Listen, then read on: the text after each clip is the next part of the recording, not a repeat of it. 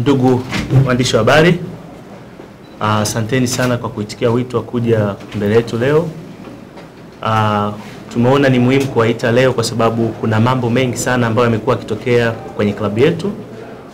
Kwa hiyo tukaona ni vema kutumia nafasi hii kuwa taarifu uh, juu ya mambo yanaendelea juu ya, eh, juu ya sakata zima ambao mlikuwa mkilisikia juu juu, lakini leo tunataka tuliongelee kwa undani zaidi. Kwa hiyo sitaongea mengi, naomba nitumie fursa hii kumkaribisha mwenyekiti wetu Dr. Mshindo Msola, atawapa briefing naye atatumia wakati huo kumkaribisha uh, mwanasheria wetu Dr. Emini Alex Mgongola. Baada ya kusema hayo, uh, mwenyekiti Dr. Mshindo Msola, karibu kuongea na waandishi wa habari. Kama nilivyosema, kaimu katibu mkuu uh, Samuel Patrick, eh, leo tumewaita kwa sababu ya jambo moja tu, hatuna ajenda nyingine. Ni swala hili linalohusiana kati, kati ya Yanga na Morrison. Mengi yamesemwa, mengi yamezungumzwa na hatimaye kesi ikafika kule TFF, hukumu imetolewa juzi. Tulikuwa tuwezi kusema chochote mpaka baada ya kupata tupate hukumu kwanza imesemaje. Kwa hiyo tuko tayari kuzungumza sakata zima la Morrison tukiwa baada ya tumeshapata hukumu ile ilisema nini, na kwa misingi hiyo tulidhani ni vyema Yanga nao wajue ni nini kilichotokea, hukumu inasemaje, na sisi tuna, tunajibu kitu gani na hatua ambazo tutazichukua. Basi baada ya kusema hayo, mimi nitazungumza mwishoni baada ya eh, Advocate Alex Mgongola kuzungumza ili kuhitimisha, ili kutoa maoni na msimamo wa klabu kuhusiana na sakata hili. Kama alivyosema mwenyekiti kwamba klabu ya Yanga ilikuwa na, ilikuwa na shauri ambalo wao walikuwa ni wadaiwa kwenye shauri dhidi ya, ya mchezaji Bernard Morrison. Jambo hilo limekuwa linazungumziwa kwa muda mrefu sasa, lakini uh, klabu iliona kwamba haina sababu ya kulizungumzia mpaka pale ambapo mwenendo utakuwa umepatikana na uamuzi utakuwa umepatikana kimaandishi.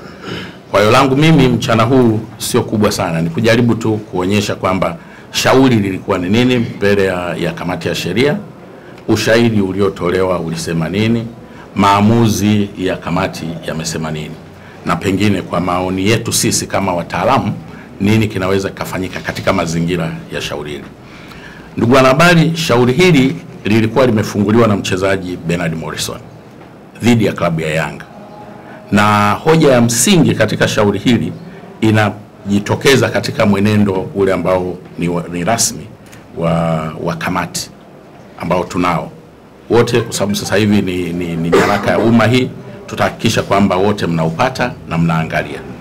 Ukisomeka ukurasa wa kwanza wa mwenendo utaona kwamba shauri lililopo mbele ya kamati linahusiana na kama kulikuwa mkataba wa Morrison uliongezwa kwa maana ya extension au hapana. Nikitumia maneno yake ka, kamati yenyewe inasema issue ni whether there is extended contract between the parties. Nasisitiza hapo kwa sababu nita, wakati nazungumzia hilo nitakuwa narudia sana hii hoja ya, ku, ya kujibiwa. Kikawaida kisheria ni kwamba vyombo vilivyopewa mamlaka ya kutoa haki ambavyo sio mahakama kitaalamu huwa vinaitwa quasi judicial bodies.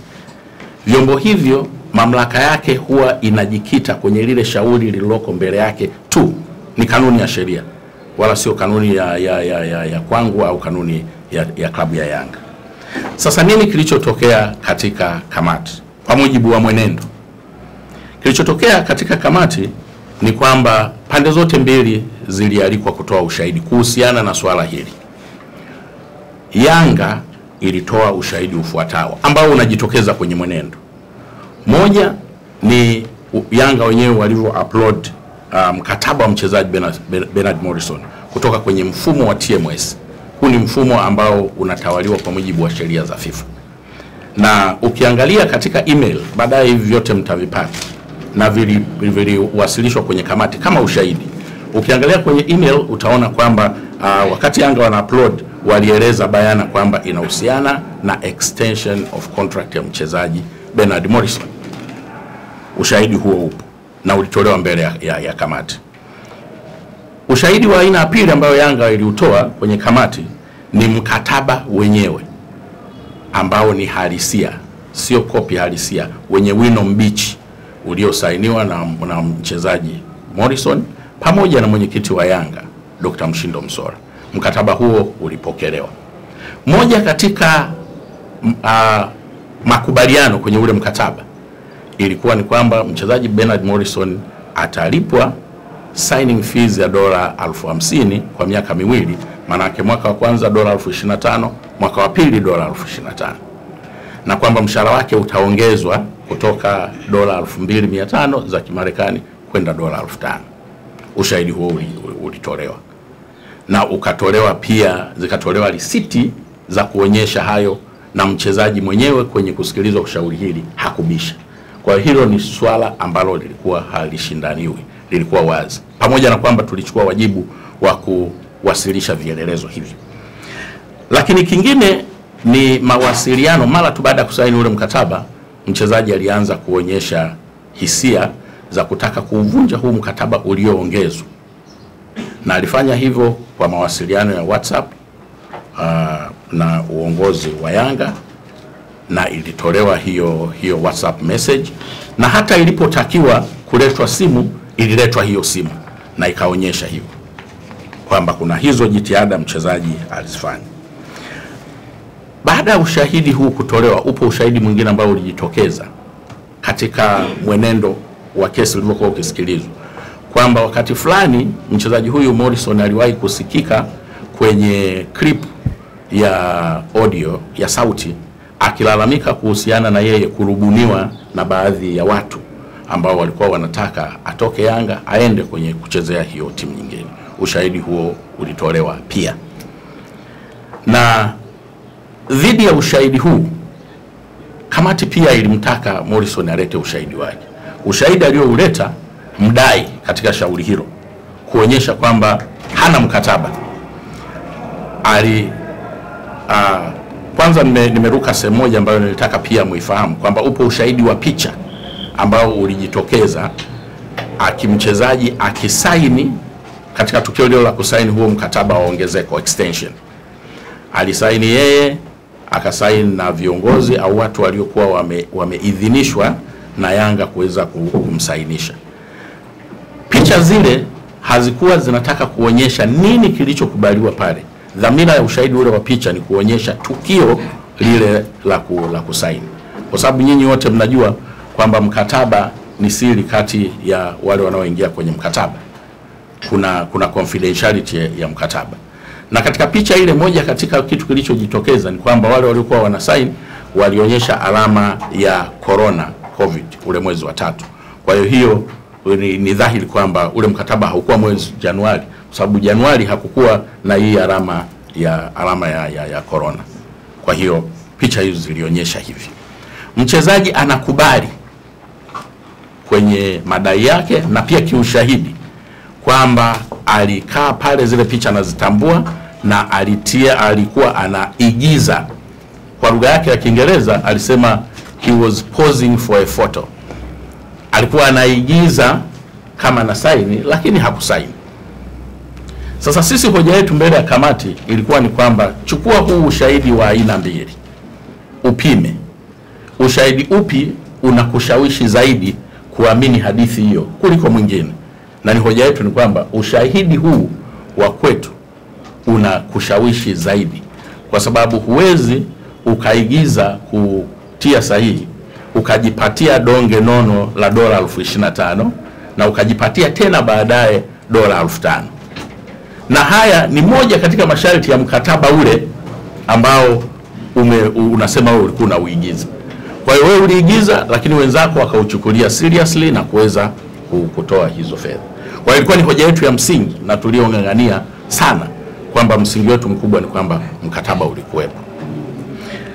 Sasa ukiutazama mwenendo, ukiutazama mwenendo wote huo, ushahidi huo unajitokeza. Nini maoni au uamuzi wa kamati? Uamuzi wa kamati, kamati inasema kwamba kwa kuwa hoja inayoshindaniwa ni kama kulikuwa na mkataba wa extension au hapana, ningependa nisome na mtapata hii maoni ya kamati kwa maana ya uamuzi yanapatikana ukurasa wa mwisho wa uamuzi ambao kuna sahihi zote, na katika paragrafu ya mwisho kamati inasema hivi: It is the committee findings that the said extended contract has discrepancies. Ni maoni ya kamati, kwa tafsiri isiyo rasmi, ni maoni ya kamati kwamba mkataba huo ulioongezwa una mapungufu. Tafsiri yake ni nini? Kumbe mnatambua kwamba kulikuwa na mkataba ulioongezwa, ndio maana mnakwenda hatua ya mbele ya kuuchambua kuhusiana na mapungufu. Kwa hiyo hoja ya kwanza kabisa ambayo ndio hoja pekee ya, kuwe, ya, ku, ya kuiamua ni kama kuna mkataba au hapana. Kwa hiyo ilipo kamati ilipotambua, ni maoni yetu kwamba ilipotambua tu kwamba kulikuwa kuna mkataba, ilitakiwa shauri hilo liwe limeishia hapo kwa kusema kwamba yule anayesema hakukuwa na mkataba ameshindwa kwenye hilo shauri, kwa sababu ushahidi mzito unaonyesha kwamba mkataba ulikuwepo. Ni bahati nzuri sana kamati imekuja na maneno mazuri namna hii kwamba uh, mkataba huo una mapungufu, na hili linajidhihirisha katika hukumu hii ambapo pamoja na kwamba wanasema kwamba wanampa faida Morrison, lakini wanatambua makubaliano mkataba huo ya dola elfu ishirini na tano na dola elfu tano ndio maana wanasema hela hizo Yanga warudishiwe. Kama huutambui mkataba wenyewe, kwa nini sasa unavitilia nguvu vipengele vya mkataba ambao wewe huutambui? Kwa sababu kwa kusema kwamba zirudishwe zile fedha ni kutilia nguvu mkataba ule ambao wewe mwenyewe huutambui. Sasa sisi kitaalamu, baada ya kupitia mwenendo mzima na kupitia uamuzi, tunaona kwamba katika mazingira haya uamuzi wa namna hii unaweza kufanyiwa rufaa kwa chombo cha kasi, na rufaa hiyo katika sababu za msingi katika sababu za msingi ambazo tunaziona ni kwamba kamati ilikuwa na mamlaka thabiti ya kuamua kulikuwa na mkataba hakuna. Ilipoamua kulikuwa na mkataba, ilitakiwa iishie pale kwamba hiyo ndio iliyokuwa hoja mbele yake. Kuileta hoja ya mapungufu, maana yake ni kwamba ulikuwa ilitakiwa iingie ndani zaidi kwamba mapungufu kisheria ya kimkataba, kwa bahati nzuri sheria zetu ziko wazi, yako ya aina mbili. Yapo mapungufu ya kimkataba ambayo yanatibika curable, na yapo ma, ma, ma, mapungufu ya kimkataba ambayo hayatibiki. Sheria ya mikataba inasema hivi kwamba ma, ma, uh, mambo yanayoweza kubatilisha mkataba ni ya aina nne tu. Moja ni kama katika jambo mlilokubaliana hakuna thamani ya kipesa iliyopita kati yenu, consideration kwa lugha ya kitaalamu. Kwenye mkataba huu, kwa mujibu wa ushahidi uliotolewa, consideration ndo ile dola elfu pamoja na dola elfu. Kwa hiyo hili halimo. La pili ni pale ambapo wale walioingia kwenye mkataba hawakuwa na uwezo wa kuingia kwenye mkataba kwa mujibu wa sheria. Sheria inamkataza mtoto mdogo chini ya miaka 18 kuingia kwenye mkataba. Sheria inamkataza mwenda wazimu, mtu asiye na akili timamu kuingia kwenye mkataba. Haya yote hayakuzungumzwa hapo, halipo. Jambo la tatu ni ile dhana inayosema wanaoingia kwenye mkataba lazima waingie kwa hiari yao, freedom of contract. Hakuna jambo linaloonyesha kwamba mkataba huu uliingiwa kwa nguvu yoyote, mtu alishikiwa bunduki, hapana. Lakini la mwisho, sheria inakataza watu kuingia kwenye makubaliano kuhusiana na jambo ambalo ni kinyume cha sheria, illegality. Hamwezi mkaingia kwenye mkataba kukubaliana kutenda kosa la jinai, kwa mfano kuua. Mkataba wa namna hiyo unakuwa ni batili. Kwa hiyo kwa kuwa mambo haya yanayoweza kubatilisha mkataba sio hayo ambayo kamati imesema, kamati haikupaswa kufanya uamuzi wa namna hii. Mengine yote, mambo mengine kama unayaona kwamba yana, yana, yana mapungufu, mapungufu hayo yanaweza kutibika. Kwa hiyo kusema kwamba tarehe, hoja inayozungumzwa na kamati ni kwamba tarehe ile, kwanza katika kurasa zote kwenye pages ni upande mmoja tu ulio initialize, haipo katika haya manne. Hulioni, hawezi akafanya contract ikawa invalid.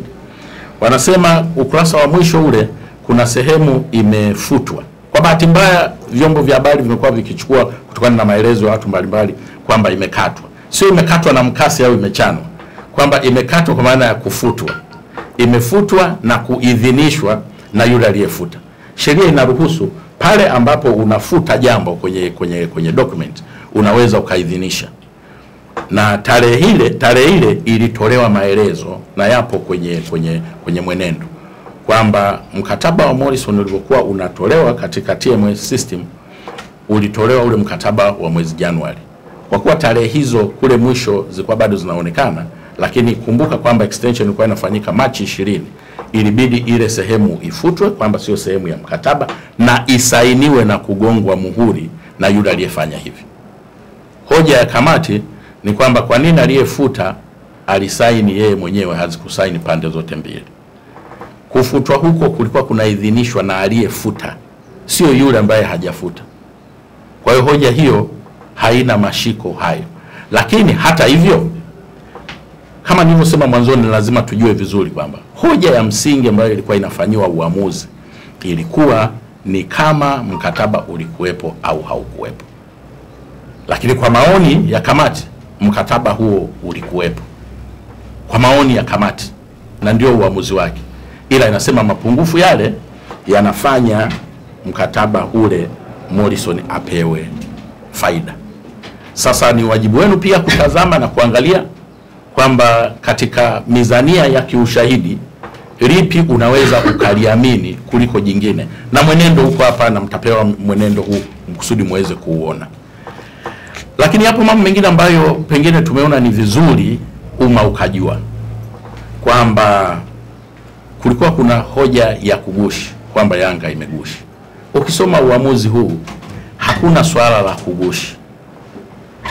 Ukisoma uamuzi huu hakuna mahala ambapo kamati inafanyia maamuzi kugushi, na vizuri pia ikafahamika kwamba kugushi au fojari ni dhana ya kisheria ambayo ni mahakama pekee baada ya kupokea ushahidi ina uwezo wa kutamka, wala sio kamati ya sheria na hadhi za wachezaji ya TFF. Kwa swala la kugushi kwamba Yanga wamegushi wame, si- sio sahihi. Hoja ilikuwa kama mkataba huo upo au haupo. Pengine hilo unaweza ukawasamehe wale wanaodhania walifikiri ushahidi atakao uleta mdai ni ule unaoonyeshwa kwamba mkataba huo umegushiwa, lakini hakuna ushahidi wa namna hiyo wa kugushi uliotolewa mbele ya, ya, ya kamati. Lakini yapo mambo mengine ambayo pengine tumeona kwamba ni vizuri uh, yakafahamika kwamba kuna dhana pia uh, kwamba mikataba wanayoingia wachezaji ni mibovu na haistahili, haifai kutokana na wale waandaji wa mikataba, pengine klabu ya Yanga au vilabu vingine uh, sio sio ile inayokidhi mahitaji ya sheria. Mikataba hii ni standard form, iko kwenye TMS system. Kwa bahati nzuri, mimi ni mmoja katika watu ambao kwa wakati huo uh, tulikuwa tumeitwa na FIFA kwa ajili ya kuiandaa mikataba hii iingie kwenye mfumo. Ina kila kitu ambacho wanakifanya wanakifanya vilabu ni ku, ni ku download ule mkataba na kuanza kuangalia kwamba vitu gani vya msingi ambavyo vinatakiwa kuingizwa kwa mujibu wa makubaliano yenu. Na mikataba hii usipofuata mkataba wa mfano kwenye ile system ya FIFA itakukatalia. Kwa hiyo lazima uende na mkataba wa kimfano.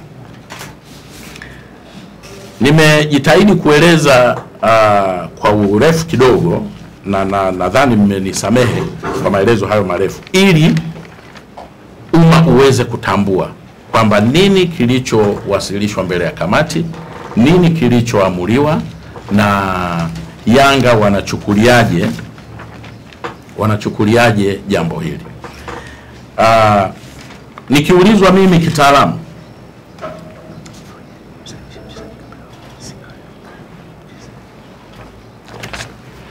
Nikiulizwa mimi kitaalamu, baada ya kutazama haya yote, ningeishauri klabu ya Yanga kwamba ilipeleke jambo hili kwenye vyombo vya juu katika rufaa. Kwa nini? Kwa sababu ambazo tayari nimeshaziainisha na kwamba hoja hizo zilizozungumziwa katika utetezi wa au katika kuthibitisha madai ya mchezaji hazikustahili kupewa uzito ambayo imepewa. Lakini pia dhana ya, ku, ya kugushi kama nilivyoeleza mwanzo ni dhana ambayo inachafua klabu ya Yanga, ni dhana ambayo pia haimweki mahali pazuri mdhamini. Ni vizuri ikaeleweka kwamba kilichokuwa kinashindaniwa na pengine kupitia hii press mtaieleza jamii kwamba kilichoshindaniwa ni nini, kilichoamriwa ni nini. Lakini wakati tunamalizia shauri kwenye kamati hii, ilijitokeza hoja ya kwamba je, mchezaji siku mbili zilizopita, wakati huo tukisikiliza hoja hiyo ilitoka kwa kamati yenyewe, unaonekana umesaini katika klabu fulani. Mchezaji yule akasema nimesaini. Akaulizwa tena, kwa nini umesaini wakati kamati hii ilikuwa haijaamua kuhusiana na hatima ya kimkataba? Aliulizwa swala hilo, akasema mimi niliona ni vizuri tu ni saini. Hilo linajitokeza kwenye maamuzi ya kamati pale ambapo wanasema kwamba mchezaji apelekwe kwenye kamati ya maadili. Lakini aa, sisi tunachokizungumza kwamba katika mazingira hayo, kwa kweli heshima na thamani ya maamuzi ya, ya, ya kamati ni muhimu sana. Taasisi ile kama kamati ni muhimu sana. Haiwezekani mtu anafanya kitendo kinachokinzana na uamuzi ambao mtautoa ambao hakuna upande unaojua, na yeye anachukua hatua hizo, na baadaye uamuzi unakuja unaofanana na kile alichokifanya.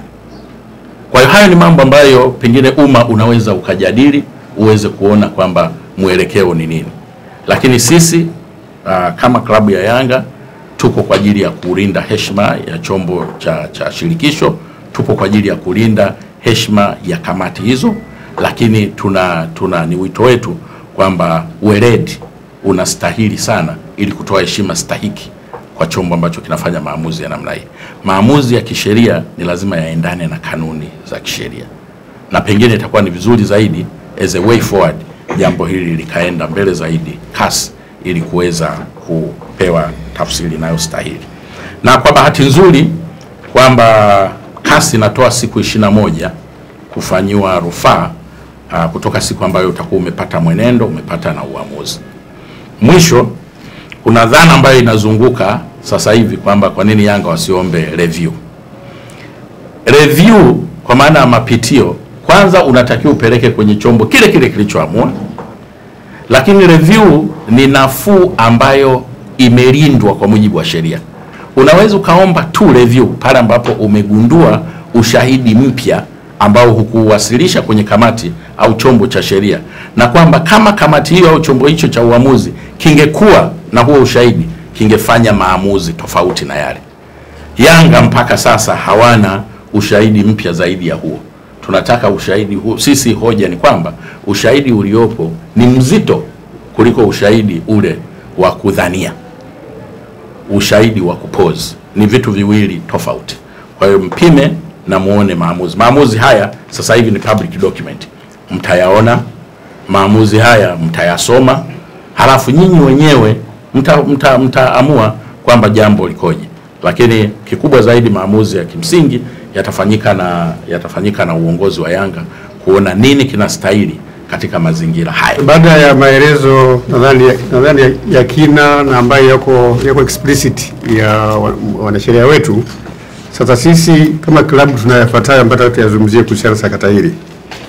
Moja ni kwamba kitendo cha kamati ile kufanya kushindwa kufanya maamuzi kwa siku tatu kwa jambo ambalo ni rahisi tu la kiutaratibu inatilia shaka weledi na uwezo wa ile kamati. Ina maana ilikuwa na vitu vingi nje ya taratibu. Kwa sisi kama klabu, jambo hilo halijatufurahisha kwamba jambo ambalo lilikuwa la kuchukua dakika kumi tu kufuata kanuni na taratibu limechukua siku tatu, wanabaika wanahangaika.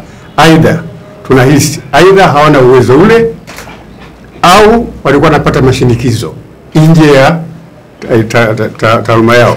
Lakini la pili, tunalaumu TFF huwezi kuunda kamati ya haki za wachezaji kukuwa na kiongozi wa klabu ndani ya ule ile kamati. Hiyo jambo halipo, kutakuwa na conflict of interest, kwa sababu haiwezekani kiongozi wa klabu anakuwa tena mjumbe wa kamati ile yenye maamuzi. Sasa huo ni ubovu, na hiyo ni kasoro kubwa ya nini, ya TFF. Kwa hiyo lazima TFF na yenyewe ijitathmini. Unapounda kamati uwe transparent, uwe fair. Sasa wana, wana, wanaunda kamati kienyeji, matokeo yake ndio hiyo saga inakuwa linachukua siku tatu almost miezi miezi miwili bado kama lile, kwa sababu walichagua watu ambao aidha wana conflict kama nilivyosema, mfano rais, tujibu, mnafahamu, mtu ni kiongozi wa klabu alafu anaingia pale kwenye kamati ya kuangalia hizo kesi itakwendaje? Hiyo haiwezekani. Kwa hiyo tunashauri TFF wafanye mabadiliko, wajitathmini wenyewe, waangalie kwamba je, hizi kamati wanazounda zina haki kweli, na je composition ya wale watu kweli watatenda haki? Sasa ni jambo tunadhani kama klabu sisi lazima likemewe, na nani kama waandishi mtusaidie. Lakini jambo lingine ni kwamba sisi kama, ti, kama kama Yanga kuna mambo mengi pale ambayo klabu ya Yanga ikipeleka hayafanyiwi kazi, na hii sio mara ya kwanza. Kwa mwaka jana, mwaka huu, mfano rahisi tu, baada ile clip ya Morrison, baada ya mechi ya tarehe nane ambayo tulishinda goli moja, ile kijana alizungumza kwamba alishawishiwa akapewa pesa kwa lengo la kwenda ajiunge nao. Sasa vitu kama vile tulipeleka TFF kwa maandishi na ushahidi toka tarehe 15 mwezi wa, wa sita mpaka leo ile shauri halijasikilizwa. Yamekuja kusikilizwa masuala ya baadaye ya Morrison ambayo yana interest ya baadhi ya watu, kwamba leo lianze ile ambayo tulipeleka la ushahidi la rushwa halikuzungumzwa. Sasa tunaambia TFF pia, haki ikichelewa mno unasababisha mashaka mengi na inapunguza imani ya wanachama wake kwa TFF, kwamba inakuwaje kunakuwa na double standards. Swala linalomhusu mtu mmoja pande mmoja linapewa kipaumbele, swala linalohusu klabu nyingine linatupa pembeni. Sasa ndio jambo sisi na kama klabu hatufurahishi nalo. Lakini jambo la tatu ni masuala ya e, jambo jambo lingine ni kwamba wakati wa kesi ile ya kwanza hii ya Morrison, wakati nasikilizwa kwenye, kwenye kutoa uh, ushahidi kule, kule kwenye, kwenye kamati, mwanasheria wa TFF alitamka kwamba mbona Morrison pesa yenyewe ya Yanga alishairudisha. Sasa kaulizwa, wewe pesa ya Yanga kama ilirudi ulijuaje? Kwa hiyo tayari kuta kwamba mwanasheria wa, wa, wa, wa TFF alikuwa tayari kwa upande mmoja anaitetea klabu nyingine ambayo mchezaji ni mhitaji, lakini kama hiyo haitoshi, alipoangalia mkataba pia akasema sahihi ya kwangu sio yenyewe. Sasa mimi najiuliza sahihi ya kwangu alijuaje kwamba hii sahihi ya mwenyekiti wa Yanga sio yenyewe? Kwa hiyo unakuta ndani ya watumishi ya waajiri wa TFF na wenyewe wako biased, na hilo likiendelea, haki isipotendeka, amani ya mpira itakuwa haipo, na hakuna jambo baya ambalo lina linauzi watu kama mtu aone kwamba haki yake inadhulumiwa na waajiriwa wa taasisi. Na jingine ni kwamba baada ya Morrison kuanza kupewa pesa na timu ya upande wa pili na kutoa zile clip, amekuwa hashiriki tena vizuri kwenye klabu. Sasa maana yake nini? Ni kwamba kulikuwa na match fixing na wale walikuwa wanampatia pesa, kwa sababu baada ya kwanza kupewa zile pesa na kushawishiwa na katoa ushahidi ya participation ya Morrison Kwete kama iko chini. Mbona mechi ya mwisho ile ya, ya, ya, ya mwisho ya goli nne moja kama alikuwa tupo uwanjani. Kwa hiyo tayari taratibu za kufix matokeo zilifanywa na upande wa pili. Kwa hiyo pamoja na sisi kupeleka ile clip TFF wamenyamaza, pengine kwa interest ambayo wanaijua, lakini kikubwa ni kwamba sisi hatufurahishi kama klabu. La mwisho ambao tuzungumzia hapa na sheria jingine ni kwamba amesign wakati akijua kwamba bado ana kesi, lakini mbaya zaidi amesign na kumshukuru mmoja wa wajumbe wa kamati ya, ya haki iliyotoa hukumu hii juzi kwamba asante fulani, asante fulani. Sasa kweli hapa kuna mpira au kuna mambo ya kipuzi tu eh? Haiwezekani, haiwezekani. Una kesi una sign unamtaja kiongozi ambaye tayari kiongozi ni mjumbe wa kamati ambaye anatoa haki na kesi ile haijaisha. Kwa hiyo maana yake ni kwamba huyu mchezaji aliambiwa vyovyote itakavyokuwa, wewe side, sisi ndio timu fulani, na kama ambavyo wenyewe wanajisifia kwamba wao ni serikali. Sasa si atuamue kama wao ni serikali, unajua kwamba yani mambo ya kujisifia tu, kila mtu kila mtu yuko chini ya serikali. Kwa hiyo kikubwa ni kwamba huyu mchezaji ame, ame, performance yake ilipungua kwa sababu tulikuwa na match fixing, labda alimwambia kwamba sicheze, la kwanza, lakini la pili, kitendo cha kusaini na kumshukuru mjumbe wa kamati hii ambaye alikuja kutoa maamuzi juzi. Ni jambo la aibu na ni kwa TFF. Sasa hayo lazima lazima watizame, na sisi kama alivyozungumza mwanasheria hapa, hii ni kutufedhehesha sisi kama viongozi. Hukumu ile na hao waliosaidia ile hukumu walikuwa na malengo mawili makubwa kwa, ma, kwa maoni yangu. Kwanza kuonyesha kwamba sisi viongozi wa Yanga ni wababaishaji, lakini pia mdhamini wetu GSM ni mbabaishaji.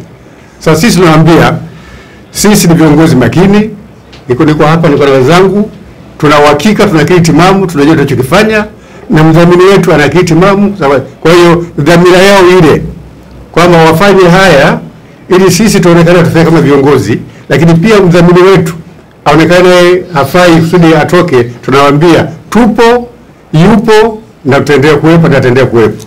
Kwa hiyo la mwisho ni kwamba mpira wa Tanzania ili ukue, tuache mambo ya ubabaishaji, tufate tu taratibu na kanuni. Kama kile kitu kifuatwa, tutakwenda mbele, lakini haina sababu tu kuwa na mambo mengi ya ujanja ujanja, ndio haya tukufikia hapo. Kwa hiyo inakuwa ni vurugu na inaleta taharuki bila sababu. Watu wamekaa siku nne hapa na tension tu, kila hii nchi zima Morrison Morrison. Ni kwa sababu sisi kama TFF na vyombo vyake hatutendi haki, hatufanyi tendi haki kwa wakati, hatutoi maamuzi kwa kwa wakati, lakini kama tusipojirekebisha, hii hali ya msimu ujao itaendelea na itaseti president mbaya kwamba ah, kwa Tanzania wewe fanya lolote, tukishakuwa na uwezo fulani, utakishakuwa na mtandao, unafanya chochote, sheria haitizamwi. Kwa sisi we are not happy, na tunadhani kwamba message yetu kwa TFF ni kwamba lazima isimamie haki, na la pili, wanapounda kamati zao wahakikishe wanaleta watu ambao credible, sio watu watu wa ku- wa kuokota tu au mtu ambaye kwenye klabu nyingine. haitatusaidia. Tuwe na watu ambao wako makini, lakini basi watu ambao wako clean mtu ambaye hauko mimi sio tulikuwa kiongozi wa Yanga leo, alafu tuko kamati ya hali ya wachezaji, itakuwa jambo la ajabu. Kwa hiyo tuwachague watu ambao wana sifa. Tanzania na watu wengi sana ambao wamecheza mpira, wameongoza mpira, wako credible, wako clean. Hata kwa ni mtu wa upande huu akakatenda haki upande mwingine, hata kwa upande huu akatenda haki wapi?